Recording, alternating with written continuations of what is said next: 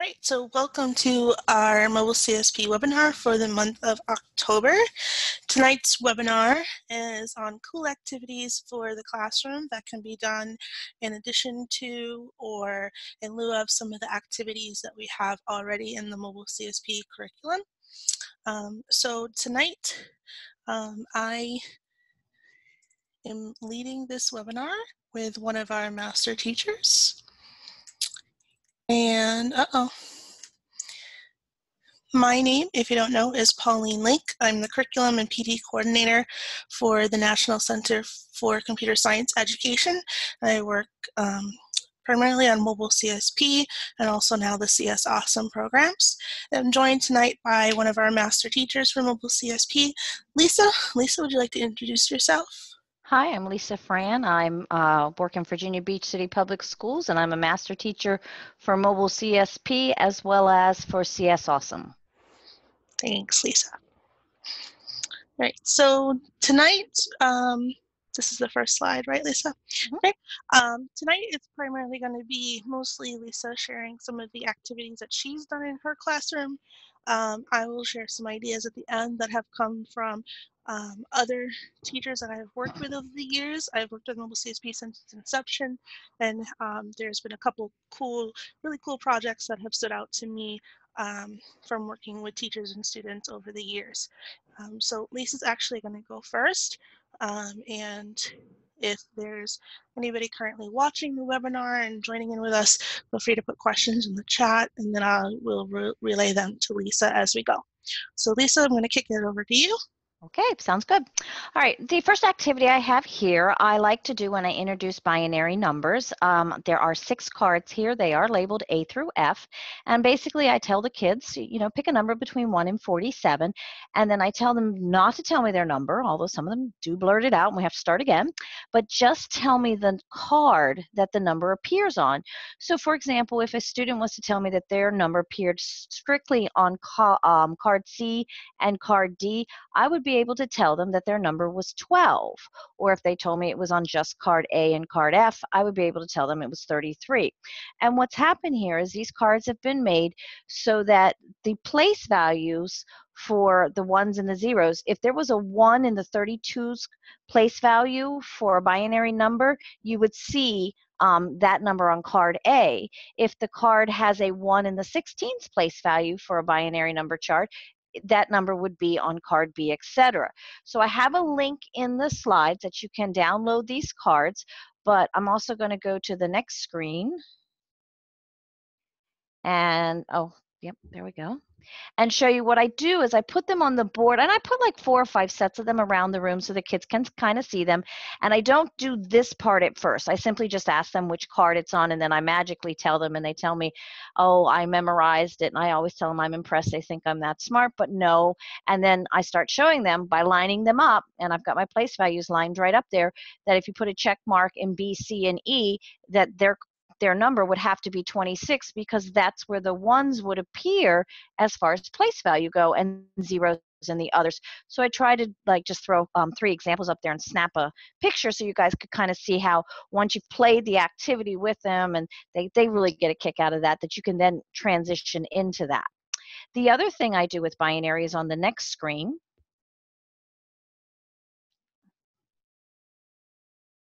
Okay, um, I have um, under the manipulative link, I have a document where you can print this pink paper that I have here. And in the left uh, picture, you can see where I've written a binary number.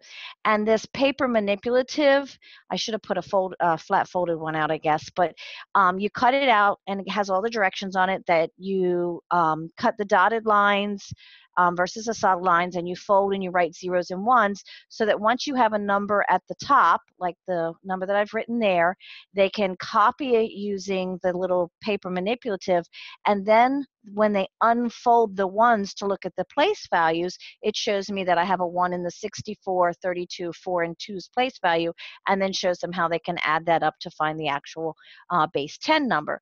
Um, it's kind of funny. My kids really like this, and I remember I had one kid wanted to take the assessment with it, and I told him that no, unfortunately he couldn't, but it, it's kind of funny how they like some of these little manipulatives. So both of those are for binary. And um, sometimes I do both in like one one one day, kind of to lead in where we're heading, and then the other the next day, and sometimes I'm um, on the same day. So those are two of the um, two binary activities I have. The next activity that I have. I'm actually going to pause you for a second, Lisa. Sure, sure. Um, so I believe this is Lindy. Hi, Lindy. Um, she said, Lisa, the cards work great to introduce binary. Do you have a game Unplugged to help with hexadecimal? No, I do not. um, that that's a harder one to work with. Um, I I I remember this activity. I can't really take credit for it. I remember somebody showing it to me years ago as an enrichment activity when I taught middle school math, and then when I got ready to teach binary, um, it struck me, and I had so I recreated the um, the cards. But I'll keep thinking. If I come up with something, I'll post it to the group uh, um, site. All right, and I would just add that um, I'm I probably bring it up later um, in the slides that I posted in the chat that you should have access to, um, and I can post that that link again. Um, I do have a reference in there that I will mention and hopefully get to tonight about hexadecimal scavenger hunt activity. So that information is in there that might be something of use to you. All right, Lisa, next slide, right? Uh, yes, I can remember what's next. Oh, the cryptography hunt. This one I created last year, and I do have a link, I think, on the next screen to what I have.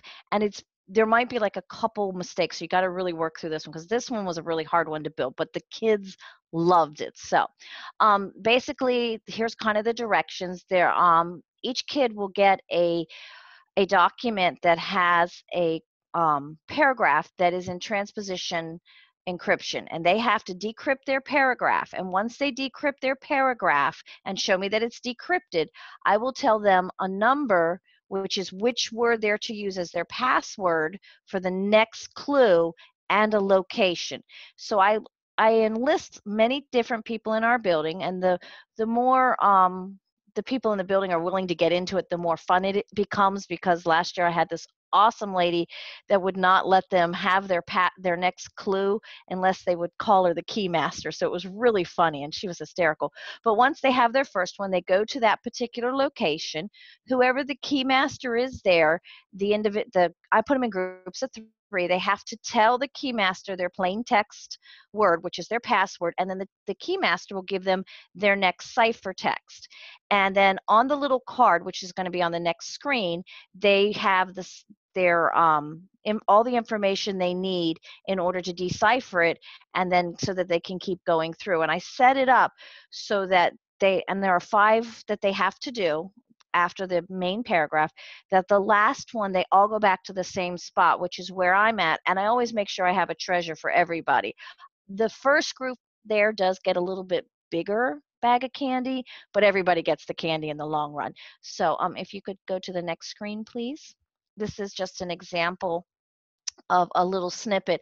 On the left in this screen, this is one of the first um, cards that is with one of the groups because every group has a different one. And of course, at the top where it says password, they would put the word from the paragraph, which happens to be hunt because on the right side I have the answer. And so now that they would go to whoever their keymaster is in their location, they would tell them hunt, and then they would hand them this card that you see on the left, and it tells them what cipher algorithm to use, and any keywords or shifts that they would need are listed there. And then they're supposed to decrypt their cipher text there, which when they get done decrypting that, it will be giraffe because you notice it's on the other card because my answers are on the right hand side and once they have that decrypted then they have to go to location A. Now on the original paper with the paragraph that I give them I have all the locations listed and so they um they when they see location A here they just go to the table and they say okay location A might be room whatever or the office but that way I can move them depending on where I can find keymasters for each bell. But that shows two of them. And I, if I remember correctly in the document, I think I had eight groups, and each group had five different cards they had to work through, and nobody had the same word, the same um, cipher like the same algorithm that they had to do in orders because i and i did it that way so they couldn't just follow each other that they all had to work independently and and you know basically be honest with it but I, I know that was a lot of fun last year watching them running up and down the halls trying to find stuff. So that and like i said there is a link to it and i think the directions are pretty clear in there um, but i feel like there's one word that might be wrong somewhere that i got to go back through but i just hadn't found it so. Oh yeah there's the whole document with the um, the very original there where there's the uh, the paragraph and they figure out like i said when they get that done there's the directions and then there's kind of the key that they have where you can tell them where all your locations are and then from there can you scroll to the next page this one page just page two please Oops. this one page i think they read down so there's the top left um, middle left, bottom left, then the top right, then the middle right would be the path that they would travel. In the bottom corner there, I have like what word number from the paragraph that group would get and um, what the password would be, but all the answers are there on each corner. And when I make them, I put them all on different color paper so that when they come back, they should have all the same colored paper um, clues that they're giving me that they've gotten through everything.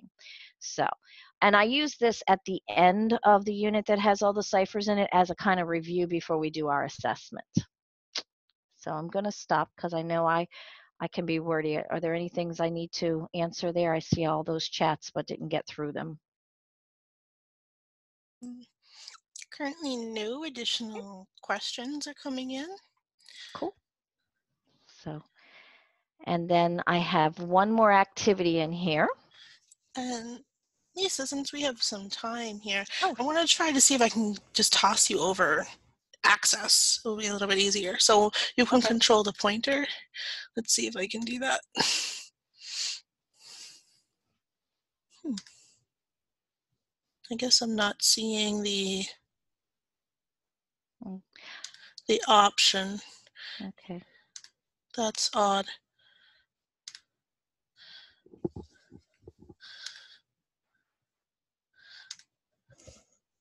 I'm still sharing, right?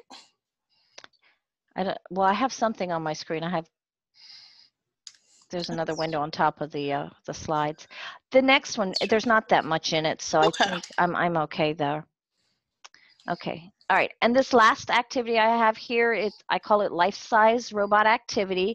From the pictures, I hope you can see, um, I have two pictures of students working. What I have on the ground is a clear shower curtain that I bought at the dollar store. And then I have 12 by 12 grids drawn off on the shower curtain. And then I cut 12 by 12 um, pieces of paper so that the kids could make, and I just put one example of a maze. They, the maze in the middle is the maze that they made. And so my young man started in the corner there, and with his group of three, they're working on what the directions are to get the robot to move using their, they have their quick references. Well, I don't think it's called a quick reference, but they're reference sheets from the principles, and they're walking them off and discussing them as they go. Um, and the only rule I have with them is that I ask them to please not wear their shoes on it because the plastic won't hold up well. Mine happens to be clear, but I think it could be done on a plain, like white or off-white one even. The other idea you could do is you could use um, painter's tape to tape off your grid on the floor. I just like the shower curtain because I can pick it up and move with it, and I don't have to worry about it like the uh, custodial staff might fuss about the tape on the floors. But my kids like this because they always call it, "Oh, we're going to play Twister." I'm like, "No, not exactly." So that's that's one of the things I know that they enjoy doing too. So those were the uh, activities that I brought. And um, Andrew says human logo. Exactly. There we go. Great. Um, let me just remind myself. Ah, okay. So I'm up next. So um, thank you, Lisa. No. Um, does anybody have any questions about Lisa's activities that she shared? Um,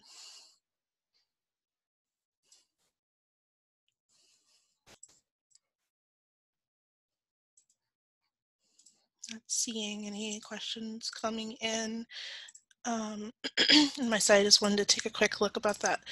Yeah, so uh, back on the cryptography hunt Mm-hmm. Um, that slide is where I put in the speaker notes the link to um, a binary hex. So let me see if I can see the notes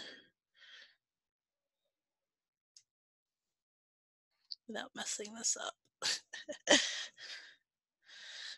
so this is another activity that was shared by um, a mobile CSP teacher. And this was um, uh, in regards to hexadecimal, I believe once it loads.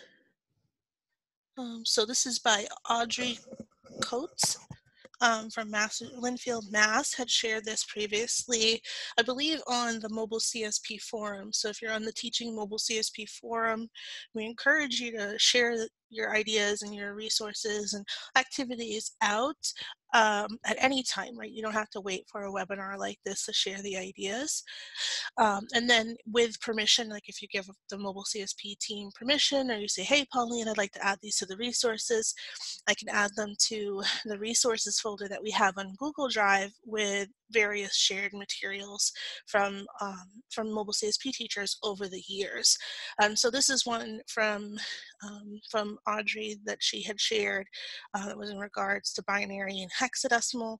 I personally haven't done this one, um, but the link is there and it's in the in the slides.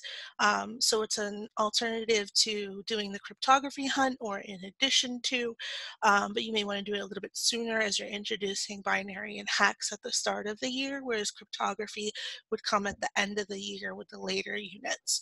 Um, so it's another option there. Right. So um, for me, let's see. just want to check the chat. Lily says, I've used shower curtains. Um, she says, I have spheros in my room and they use a shower curtain sphero to break free. Pretty cool to combine with the robots. Awesome. All right. Here we go. All right. So uh, my turn, and feel free, Lisa, if you've done any of these to jump in, or anybody else, if you've done these um, to jump in. So over the years, working with the mobile CSP teachers, pixel art has been one of the ones that has stood out by far um, with students and teachers. I personally had done a variation of this in my classroom after seeing um, and visiting a school that did this activity. Um, it's really a way for the students to really get involved and be hands-on with their learning and they take such ownership of being able to do this. So this is related to the representing images lesson in unit three. So students start to learn about how images are made bit by bit and uh, learning about run length encoding, RLE. Um, this particular picture here um, is, I believe it's Eden Prairie in Minnesota um, with um, Jen and Jessica. Um, they did this activity and they have in the, the glass windows in their cafeteria and they give the students post-it notes and they have them recreate the, these photos um, pixel by pixel using the post-it notes. So um, that is the unplugged version of this, is being able to find a picture such as, you know, the Super um, Mario picture, being able to to pick out which um, which colors are there, what are each of the what color is each bit, and recreating that with a post-it note. So that's the unplugged version. I put a link to Amazon that has, you know, you can find it colors, different colors, post-it notes. Obviously, the more colors, the more um, the more creativity the students can do and the more range they have with the pictures that they can make. Um, so if you can find um, really good a really good pack of multicolor post-it notes. I think it really works out. Um, so that's the unplugged version and what you see here is an example of what they did in their school of the end product and it really decorates the school right and it gives the students a chance to be able to talk about and share with their friends who might not be in the class and say hey this is what i'm doing and what i'm learning about and it builds excitement around the course as well um, the version that I've done um, was based off of a teacher in Connecticut that I worked with, and I went into his classroom um, at Conard High School, and I saw um, his students had taken images and they had recreated them, but they were done um, with an editing software on the computer. So teaching students a new tool to use. Um, I put some suggestions in the slides. They can use Photoshop, but there are, are, tools like GIMP that are for free that you can use. My students, when I had my students in it, I used the Piskel app, which is just an online free tool that they can use. And the idea is that you give them a 16 by 16 grid. You have them try to recreate their image um, cell by cell using the paint tool um, to recreate their image and then writing out the run length encoding that goes with that and you can take that as far as if they did the image in black and white you can do the zeros and ones but you can take it as far as um, in 3.3 the lesson actually goes into doing um, the RGB coding with run length encoding and teach them how to do that um, and use hexadecimal numbers too. So that's another way to get hexadecimal in there and have them writing out the run length encoding. With my students, I'd have them do recreate the grid of their picture, um, which whatever picture they would like as long as it's appropriate. You get to learn a lot about the students and their interests um, by the pictures they choose. And then I would have them do the run length encoding have them print two copies of it, one that they would give to me and turn in as their assignment, and the other they would swap with another student, and the student would have to recreate the picture from the run length encoding. If the student that they swapped with came back and had the exact same picture, then the run length encoding was done correctly. If they had a weird mixed up, then obviously there was a mix up and the student would know, hey, I did something wrong when I did my run length encoding.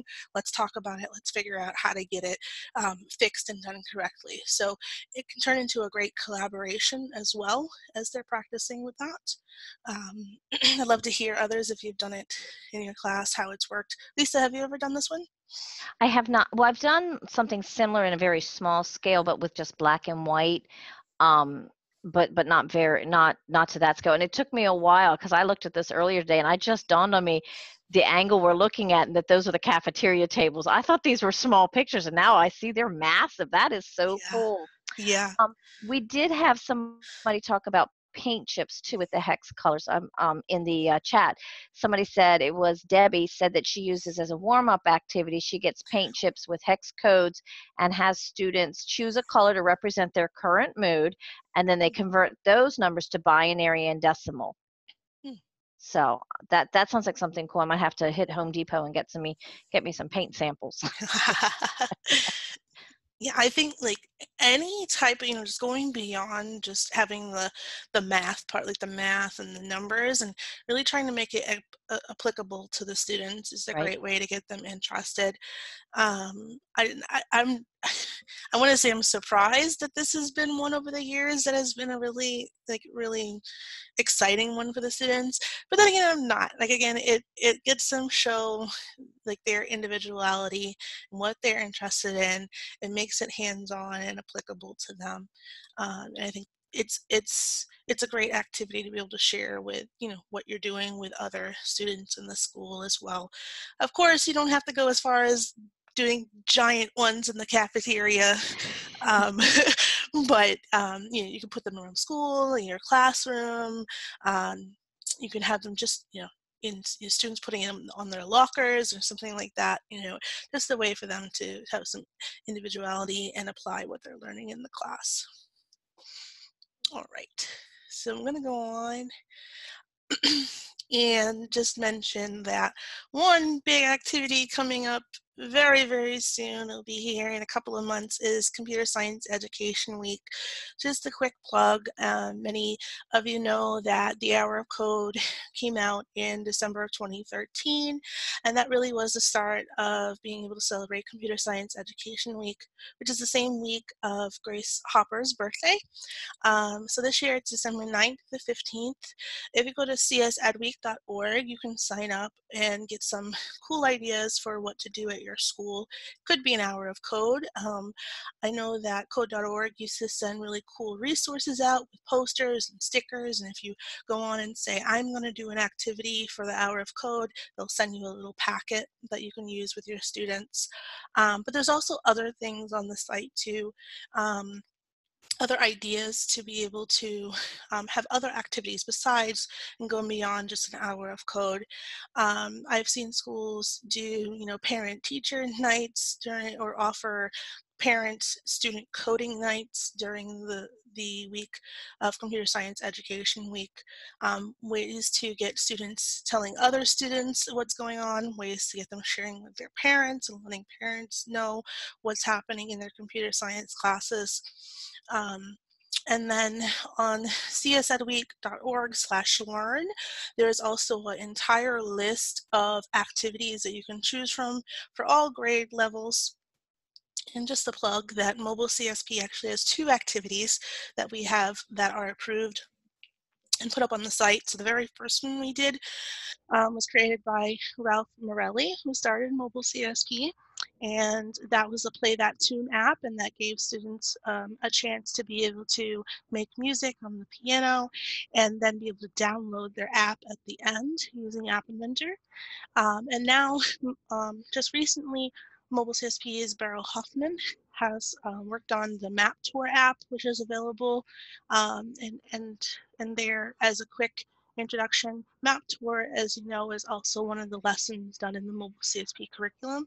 So it gives students a chance to do it as a quick standalone activity if you're just introducing students who aren't taking your course, um, or you can have your students do, um, you know, do that tutorial as part of the week.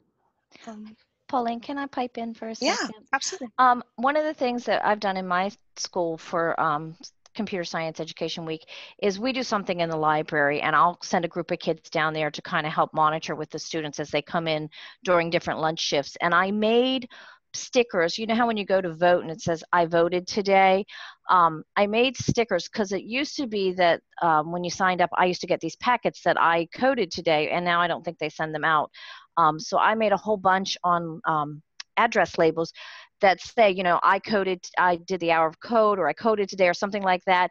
And for more, and like I even put like on the little sticker at the bottom for more information, I tell them to come to room 109, which is my room, because that way I can also start getting kids to know what's going on in our building and let them know what what classes I offer to help try and get them kind of funneling them in.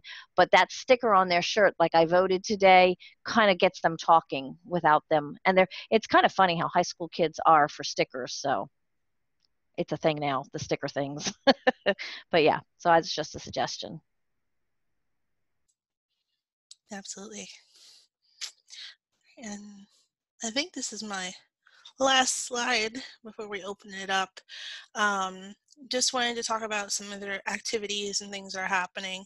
Um, mobilecsp.org slash activities is where I try to keep a list of uh, outside activities that you can do with students and contests. Um, two big ones that are coming up is the Congressional App Challenge. So going beyond um, having students just submit apps in the class to you as a grade, but actually letting them connect their projects to something that's outside. Um, um, the Congressional App Challenge is a great way to do that, having them submit their apps and be judged by um, their local senator. Um, I've had in the past, or heard, sorry, in the past, um, there have been quite a few mobile CSP students that have won the Congressional App Challenge. Um, in the state of Connecticut, our local CSTA chapter actually celebrates now at the Capitol um, each year the winners and brings them together to celebrate that and promote computer science. Um, so it's a great way to have students um, go beyond just the classroom and, and if they would like to put extra work in and, and, really be invested in the projects that they're doing, it's a great way to have them do that. Um, that is a group challenge. I believe you have to have a group of four, up to four, I believe it is. Um, others of you, if you've actually done that, feel free to, to chime in at the end here with how your experiences went. Um, another big one that a lot of students from Mobile CSP tend to get involved with, and it's for girls, is Technovation Challenge. It allows them to sort of work through a, a business plan and look at entrepreneurship, really taking the business side of their apps that they're creating. Um, and they actually get a mentor, female mentor that works with them um, through that design process and really focusing a lot on the design itself before they get into building and marketing the app. Um, and then lastly, um, Diago so um, Jennifer Rosado um, from the center and mobile CSP, um, she's been doing a phenomenal job of making sure that our profile is staying up to date. And one way you can use this is with what you're now seeing at the end of each unit, which used to have blown to bits. We're now calling it impacts of CS, and we're trying to include um, other sources besides just the blown to bits book in um, relating those lessons back to how computer science is impacting society around us. And one way to do that is to do local um, and current events with students. So um, our profile with Diago is keeping track of some of the things that Jen has been seeing in the news um, that might be helpful for um, your mobile CSP classes. Um, one thing I used to do personally when I taught the course is to actually have students tell me, you know, they'd be on the search and the hunt for local news articles. If they found one, they could discuss it with the class. I would give them time to do that, and we would keep a, a file, a document that had links to all the um, recent news articles that we could find and had discussed. Um, that also helps with the explore task. When you're doing the explore task, they have to have recent sources and credible sources. So this is one way to try to not only teach about the impacts of CS and relate it back to the impacts, but also teach them about how to find credible and reliable sources when they're looking for information. So um, that is all that we have for you tonight. We would love to take this time to answer questions about the activities, um, but even more so to open it up. Feel free to unmute yourself, chime in, um, and let us know maybe an activity that you've done, or if you've done one of the activities that we mentioned, tell us how it went. Um, this is an open space. Just know that we are recording this for those who did not attend.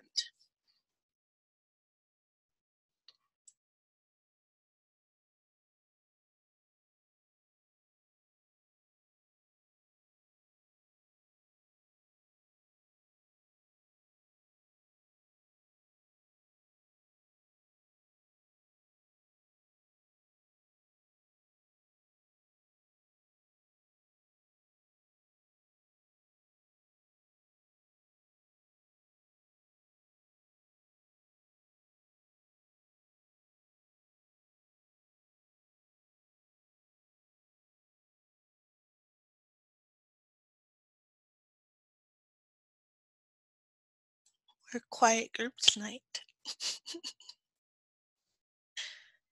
That's because everything's so well organized. Why, thank you, Mike.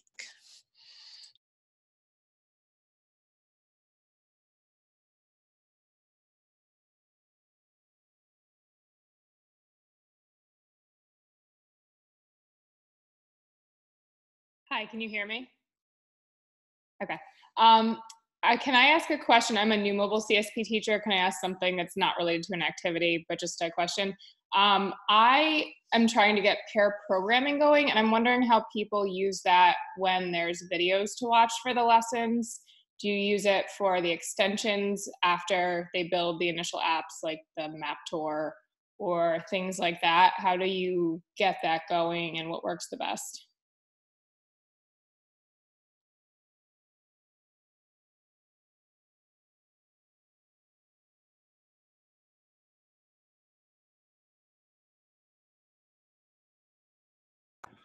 So I'll, I'll I'll hop in and say something real quick with the pair programming. When um, I actually have students that are going through and like we're lucky we almost have a tablet for everybody, but we don't have a tablet for everybody yet. It's been a while. Like we've been doing this for six or seven years now. Um, so we kind of look at the text version all together at the very beginning and we have the videos there. We watch like the little primer to see what's going on. We kind of display it for the whole class on the projector. And then as we go through, like these are the highlights. I give them areas where they might trip up, where they might see things. And then it's kind of, you know, sit with your partner, see who's driving at the start and see who's kind of like running things. And then I don't know, it just kind of goes from there where they kind of manage themselves with watching the videos if they need and if they feel they need to switch they switch and if they feel that they kind of keep going like i've always done like a parallel programming where they both have app inventor up and running but one of them is driving the tablet and they kind of work with it that way and they're leaning in and helping and pointing and leaning back over and it's a real like community effort but the the video watching hasn't really been a thing because i'm not sure all my students go to the videos regularly if we're like discussing it in class like they use it as a I didn't get that one. Now let me go back and look at the video versus we're going to be here now in the moment. Yeah, I've started to move. Like, I did videos for the first couple because I felt more comfortable doing that, but I've been doing more, I'll lead it and then I'll have them read the text. So I have been trying that. So when you say parallel programming, they're both on their own apps and then they talk to each other. Is that what you mean? Or are they working on the same app together? I'm I'm sorry, I'm just yeah when i when i say like the, the pair programming and like doing it in parallel they're both programming on their own login for app inventor Got but it, they're okay. sharing like the hardware of the tablet that sits back and forth between their station. And they're like Got oh it. let me log in real quick and let me let me scan my code. Let me test this thing out. Uh, it's not working on mine. Are you able to connect? Can you add this feature into your code? And so a lot of times like we just have like you know wi-fi issues where they're upgrading our network now so sometimes like someone's computer will get kicked off of Wi-Fi and you've got to wait like two or three minutes for it to come back.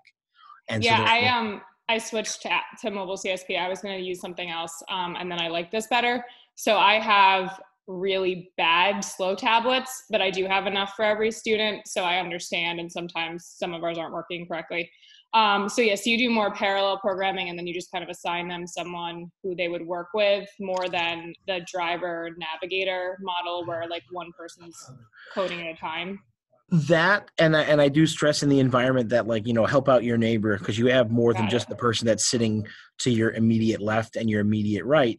So you've got two people you can work with. In in my classroom, I got like rows of six where they're kind of yeah, the same. Yeah. And so they can always like lean in and help each other out and then feel free to like float from row to row if you have a really cool idea, a really cool solution, and you want to kind of share it and see what other people's ideas are. Okay.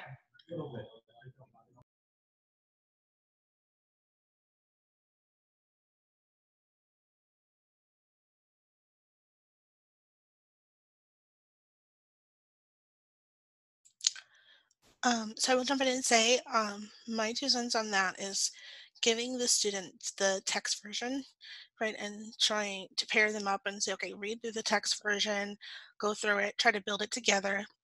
having one person be the the driver and one person be the navigator with the navigator being the one who's doing the reading and following of the text version is helpful um, think with the videos too, it could be that the navigator is the one watching the video and steering the driver in App as they work in App to um, to complete and the blocks and make sense of what's happening with the blocks. But I can definitely see how it can be a challenge with the videos, right? It's easy, it may, a student may feel it's just easier for themselves to watch the video and follow along. Um, so I would advocate for when you're trying to do that, try to do it more so when you have the tutorials. Um, in some cases making it that um, you if you needed to printing out what we now have are short handouts instead of those really long texts um, the uh, curriculum development team made some shorter handouts that will be easier for printing and reproducing that you could give to the students and say, okay, the only thing you're going to have open is App Inventor, right? And you'll use just the printed text to guide you through. So that's another way to do that. Um, I did see Andrew said he's been doing some old style paper and pencil binary activities lately. Um, and then that prompted me to think that Lisa and I were talking about Unplugged. And I know in the professional development that we talk about um, Unplugged activities. But if there's anyone on here tonight that did not do the professional development with us or who does not know what Unplugged is, um, I'm putting the link in the chat to the original CS Unplugged activities, and there's lots of resources in there. Lots of different binary activities that are paper and pencil activities that you can do as well to help reinforce learning binary with your students. Um, I think there's one coming up. I know we're not there yet, but it's time to start talking about it, right? Is Christmas is coming. Um, I think there's a Christmas tree one that's on there. Um, there's different holiday ones. Um, I think there's a there's another one too I'm thinking of. One of my favorite ones is for RLE with the representing images is the one where you um, pretend like you're learning how to, how a printer would print and you're penciling in pixel by pixel. So one of my favorite ones, I think the pictures that you make are actually really cute and the students respond to them really well. Um, and there's just a bunch of activities that you can do and print out with your students with those. Yeah, I just did the RLE activity like three days ago and it went really well we Awesome. just we're kind of at that spot. And um so that's what i'm going to try our next day of school. We have conference day tomorrow. But i i felt like the short handout wasn't quite enough for my students.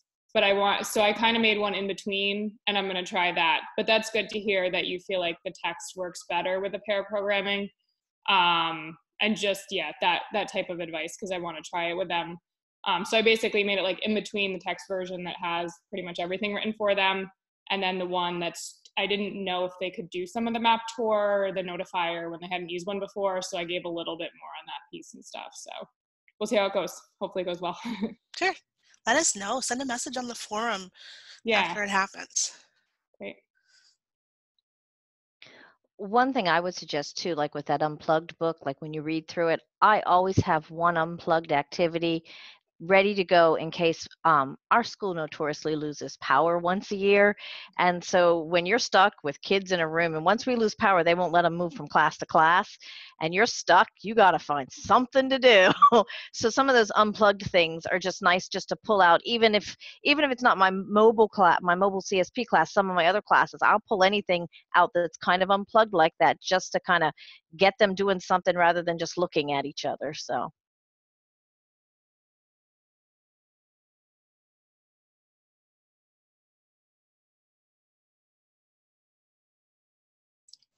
Would anybody else like to share?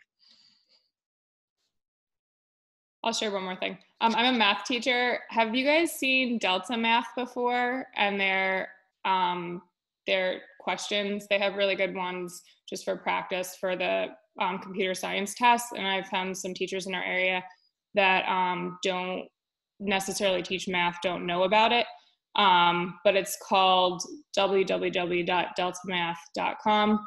And he is a math teacher from New York City, and he also teaches APCSP. And he has pseudocode, binary, RGB, um, logic, you know, logic gates and all that stuff there with um, randomly generated questions. Has anyone seen that before?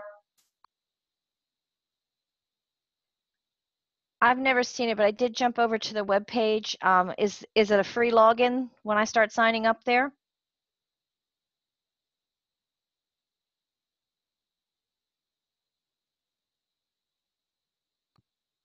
Sorry about that. I was muted. Um, yeah, it's totally free. He's just this amazing teacher from New York City that made this great product.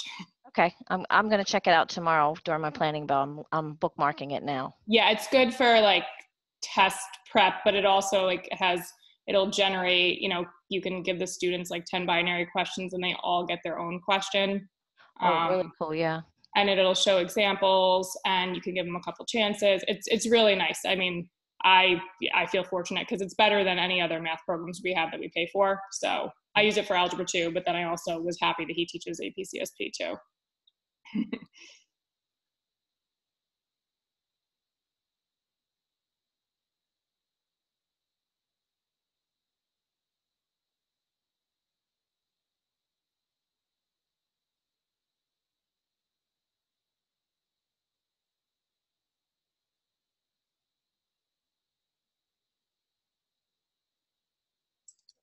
And I did put the, the link in the chat, so thank you for sharing that. I also added it to the last slide of the PowerPoint presentation or the Google Slides presentation, um, so we have it documented as well.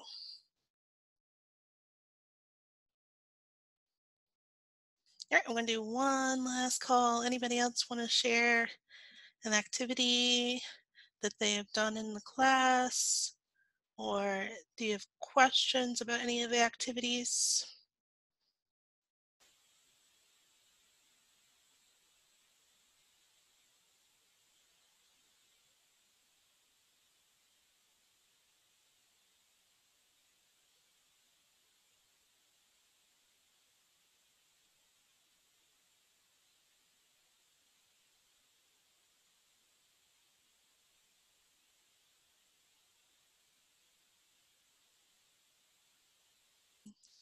All right, well, thank you all for joining us tonight. Special thank you to Lisa for sharing all of her wonderful activities with us. I encourage you to keep this conversation going, whether it be questions or resources that you would like to share on the Teaching Mobile CSP forum. Um, other than that, I hope that the school year is going well so far for each and every one of you. And I encourage you to also make sure that you're planning some type of CS um, Education Week activity, big or small. Any activity is a great activity to do and raise awareness. Um, thank you all again for joining us. Have a wonderful rest of your night.